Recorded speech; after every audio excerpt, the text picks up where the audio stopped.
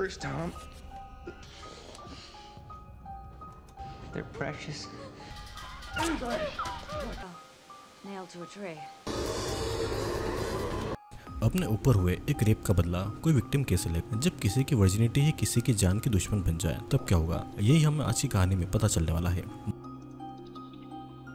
Movie की कहानी शुरू होती है जेक और रोज से, जो कि जंगल में एक कार के अंदर मेकआउट कर रहे थे। जेक रोज के साथ में इंटीमेट होना चाहता था, लेकिन रोज शादी से पहले इंटीमेट नहीं होना चाहती थी। लेकिन जेक के थोड़ा ज़ोर देने पर रोज उसके साथ में इंटीमेट होने के लिए राज़ी हो जाती है। तभी उनकी कार के पास में एक दूसरी कार आकर रुकती है और जैक उस कार के पास जाता है। अचानक से एक औरत कार से निकलकर चाकू से जैक पर हमला करके उसको जान से मार डालती है। रोज डर कर वहाँ से भागने की कोशिश करती है। लेकिन वो किलर औरत रोज को भी जान से मार डालती है।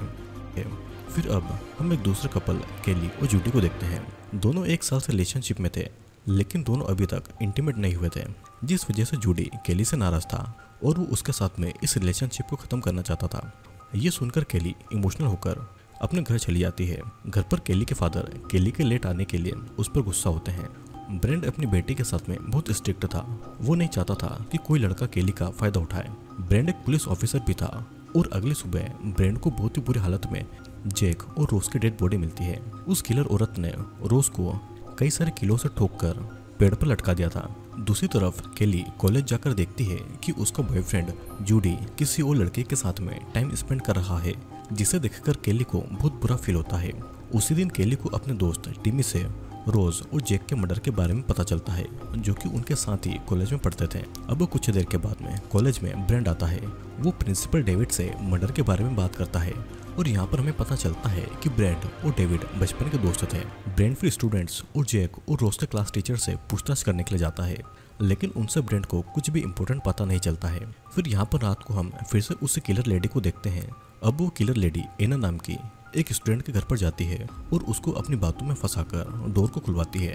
एना की डोर खोलते ही वो लेडी एना को जान से मार डालती है। अब कुछ देर के बाद में पुलिस इन्वेस्टिगेशन करने के लिए आती है, जहाँ पर ब्रांड ये नोटिस करता है कि मर्डर के बाद में किलर डेड बॉडी पर वर्जिन लिख देता है। मतलब कि वो सिर्फ़ वर्जिन स्टूडेंट को ही मार रहा था। ब्रेंड को भी अब अपनी बेटी केली के लिए चिंता हो रही थी। तो इसीलिए वो केली को उसके बॉयफ्रेंड के साथ में इंटीमेट होने का ऑफ़र दे देता है।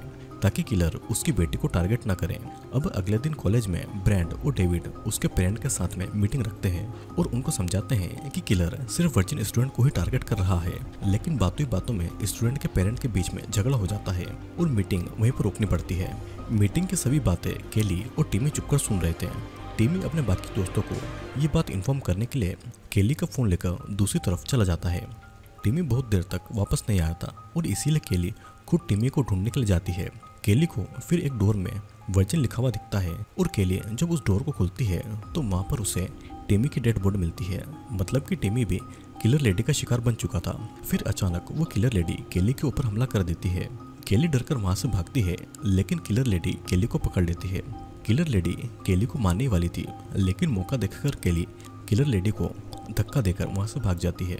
रास्ते में केली को अपने फादर ब्रैंड मिलते हैं, जिनको केली किलर लेडी के बारे में बताती है। लेकिन ब्रैंड जब उस जगह पर जाता है तो किलर लेडी वहाँ से भाग चुकी थी। ब्रैंड फिर केली से उस किलर लेडी का स्केच बनवाता है। उस किलर लेडी का स्केच देखकर ब्रैंड ऐसा बिहेव कर रहा था, जैसे कि वो उस किलर लेडी को जानता हो। एंड डेविड को वही स्केच भेज देता है और उससे कॉल करके पूछता है कि क्या वो स्केच वाली औरत लिंडी है? लेकिन डेविड के मुताबिक लिंडी तो 25 साल पहले मर चुकी थी और तब से उसको किसी ने भी नहीं देखा था। यहाँ पर हम देख पाते हैं कि केली ने दूसरे फ़ोन लाइन से ब्रेंड वो डेविड की सारी बातें सुन लेती है। लेकिन वो ब्रैंड से इस बारे में कुछ नहीं पूछती है। फिर कुछ देर के बाद में केली से उसकी फ्रेंड मारिया मिलने के लिए आती है और मारिया से केली को पता चलता है कि अपनी वर्जिनिटी लूज करने के लिए सभी स्टूडेंट ने आज रात को एक पार्टी रखी है ताकि सभी किलर बच पाए। फिर कॉलेज में केली को जूडी इंटीमेट होने का ऑफ़र देती है, लेकिन केली इस टाइम उसको कोई जवाब नहीं देती है। डेविड को भी रात को होने वाले वर्जिनिटी लूज पार्टी के बारे में पता चल जाता है और डेविड स्टूडेंट को ऐसी पार्टी करने से मना भी करता है, लेकिन कोई भी स्टूडेंट उसकी बात पर ध्यान नहीं देता है। इधर केली लिंडी के बारे में अपनी माँ टिफिनी से पूछती है। और टिफिनी पहले तो केली को कुछ नहीं बताना चाहती थी, लेकिन केली की जिद करने पर टिफिनी को लिंडी के बारे में केली को सच बताना पड़ता है। टिफिनी की बातों से हमें पता चलता है कि आज से 25 साल पहले लिंडी की कार जंगल के पास में खराब हो गई थी। और तब चार स्टूडेंट मदद के बहाने लिंडी के पास में आए और उसको जंगल में ले गए। फिर वहाँ पर चार लोगों ने मिलकर लिंडी का रेप किया और रेप करने के बाद में वे लिंडी को वहीं पर मरने के लिए छोड़ गए। और आज तक किसी को भी ये पता नहीं है कि लिंडी कहाँ पर है। उन चार रेपिस्ट स्टूडेंट में से दो इस टाउन के बाहर चले गए और बाकी दो रेपिस्ट और कोई नहीं। केली के फादर ब्रांड और प्रिंसिपल डेविड है। इस तरफ़ ब्रांड को यकीन हो गया था कि ये सब लिंडी अपना बदला लेने के लिए कर रही थी तो इसलिए ब्रांड लिंडी के घर पर जाता है। लिंडी का घर टूटा फूटा हुआ था। जैसे कि सालों से वहाँ पर कोई भी नहीं रहता हो।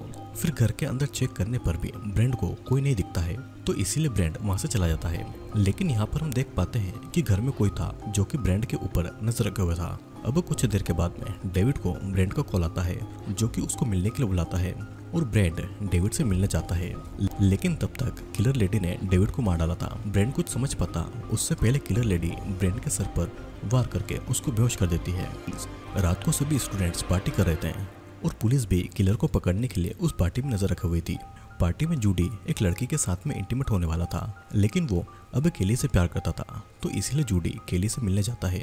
दूसरी तरफ़, हम टीचर टॉम को देखते हैं, जो कि एक बड़े से बॉक्स को बेसमेंट पे ले जा रहा था। केली बॉक्स को ले जाने में टॉम की मदद करती है और उसी टाइम केली को बॉक्स के अंदर से किसी की आवाज़ सुनाई देती है। केली जब बॉक्स को खोलती है तो उसके अंदर केली को अपने फादर ब्रैंड जख्मी हालत में मिलते हैं। केली मदद बुलाती, उससे पहले टॉम केली को मारकर बेहोश कर देता है। सीन फिर कुछ टाइम के बाद में शुरू होता है, जहाँ पर हम टॉम के बेसमेंट में बहुत सारे हथियार देखते हैं, और यहाँ पर उसने केली और ब्रांड को बरामद कर रखा हुआ था।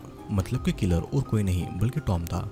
और टॉम लिंडी का बेटा था, जो कि अपनी माँ के रेप का बदला ले रहा था। टॉम केली को मारने वाला था, लेकिन तभी टॉम के घर के डोर पर जूडी नॉक करता है। जूडी केली के बारे में पता लगाकर वहाँ तक आ गया था। टॉम बाहर जाता है, ताकि बात को संभाल कर जूडी को वापस भेज दे। लेकिन केली एक ग्लास को नीचे गिराकर जूडी को सिग्नल दे देती है। जूडी समझ जाता है कि केली अंदर है, और जूडी टॉम पर अटैक करके टॉम को घर के बाहर छोड़कर खुद घर के अंदर जाता है। और डोर को अंदर से लॉक कर लेता है। जूडी फिर बेसमेंट में जाकर केली और ब्रांड को आज़ाद कर देता है। लेकिन तब तक टॉम वहाँ पर आ चुका था और वो ब्रांड को मार डालता है। जूडी केली को लेकर वहाँ से भागता है और पार्टी तक आ जाता है। पार्टी में सभी लोग एंजॉय कर रहे थे और किसी को भी ये पता नहीं था कि असली किलर टॉम है। उसी टाइम टॉम वहाँ पर आता है। टॉम को इसी भयानक हालत में देखकर सभी स्टूडेंट डरकर भागने लगते हैं और उसी दौरान टॉम जूडी को मार डालता है। टॉम केली को मारने आता है। लेकिन केली हिम्मत करके टॉम को विंडो से नीचे फेंक देती है। स्टूडेंट को लगता है कि टॉम मर गया है, लेकिन टॉम उठकर स्टूडेंट के ऊपर हमला कर देता है। लेकिन सही समय पर एक ऑफिसर टॉम को शूट करके मार डालती है। अब अगले दिन पुलिस इन्वेस्टिगेशन करती है, लेकिन केली और उसकी माँ टिफिनी पुलिस को नहीं बताते हैं कि इन सभी मर्डर का लिंक 25 साल पहले हुए लिंडी के रेप केस से है और उनमें से एक रेपिस्ट ब्रेंड था। पुलिस के पास भी कोई सबूत नहीं था तो इसीलिए केली और टिफिनी से पुलिस ज़्यादा पूछताछ नहीं करती है। अब पुलिस स्टेशन से बाहर आने पर केली को दूर खड़ी हुई लिंडी दिखाई देती है, लेकिन पलक झपकते ही लिंडी गायब हो जाती है और ये मूवी यहीं पर एंड होती है। दोस्तों, इस कहानी में हमने देखा कि 25 साल पहले ब्रैंड, डेविड और उनके दो दोस्तों ने मिलकर लिंडी का रेप किया था और उसे मरने के लिए जंगल में छोड़ दिया था। उसके बाद लिंडी को किसी ने भी नहीं देखा। रेप के बाद में लिंडी को तड़प तड़प कर जीते हुए उसके बेटे टॉम ने देखा और अपनी माँ का बदला लेने के लिए टॉम ने पहले तो उसी कॉलेज को ज्वाइन किया, जहाँ पर डेविड प्रिंसिपल था। और ब्रेन की बेटी केली भी वहाँ पर पढ़ती थी। लेकिन माँ के बदले के चक्कर में टॉम साइको बन गया था और वो इनोसेंट स्टूडेंट को भी मारने लगा था। उसका मेन टारगेट वर्जिन स्टूडेंट थे, क्योंकि ब्रेंड की बेटी केली भी वर्जिन थी। लिंडी तो असल में रेप के सदमे में कब की मर चुकी थी, लेकिन अपने फादर और बॉयफ्रेंड की मौत से केली इतना ज़्यादा डिस्टर्ब हो चुकी थी कि मूवी के लास्ट में केली को लिंडी दिखाई देती है। तो दोस्तों, ये था चेरी फॉल्स मूवी का एक्सप्लेनेशन। वीडियो आपको कैसा लगा, नीचे कमेंट करके ज़रूर बताना। और अगर आपको मेरे द्वारा एक्सप्लेन किया गया वीडियोस अच्छे लगते हैं तो आप चैनल को सब्सक्राइब करके बेल नोटिफिकेशन ज़रूर से ऑन कर लें, ताकि सबसे पहले आपको नोटिफिकेशन ज़रूर मिले। तो अब मैं आपसे मिलूँगा अगले वीडियो में।